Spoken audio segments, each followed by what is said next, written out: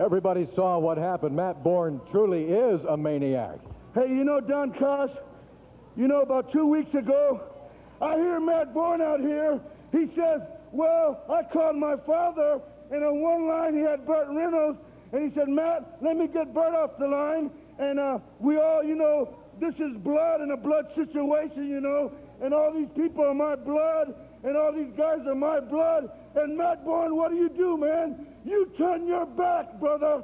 You turn your back on us, man, the guys that rely on you, on all these great people, Matt Borne, all these people that stood behind you, man, the Southern Rockers, they're great champions, man, and you just turn your back and think you're going to get away with it.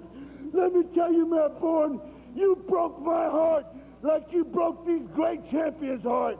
And if you want to get it on, Matt Borne, you get the grappler, you get Abdullah Matt Borne, and we'll have a six-man tag match right here next Saturday night. What do you think about that, Steve? Don, let me tell you something, Matt. You didn't just hurt me physically tonight, man.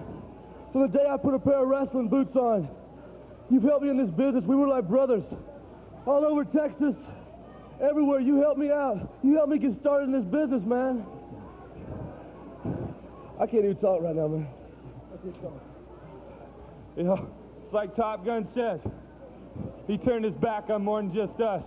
He turned the back on the Pacific Northwest, and we guarantee we're going to get him back next week. You gotta pay the price, Borne! All right, we'll be back with more after Ain't nothing over this till